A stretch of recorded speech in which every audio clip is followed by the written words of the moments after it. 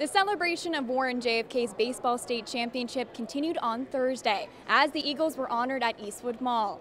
JFK lifted the trophy two and a half weeks ago, and head coach Jim Chambati says it's been a whirlwind ever since.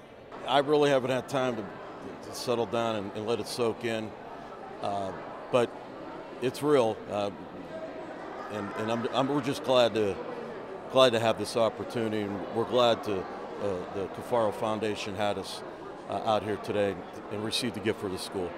The gift was a $10,000 check presented to Warren JFK High School by the Cafaro Foundation. I'm very, very grateful, and uh, it, it, it, it, all, it goes to the school, so it'll help the whole student body, not just the athletes. We have a lot of great kids there um, uh, that do with their education, so hopefully they'll help out. How about them Eagles?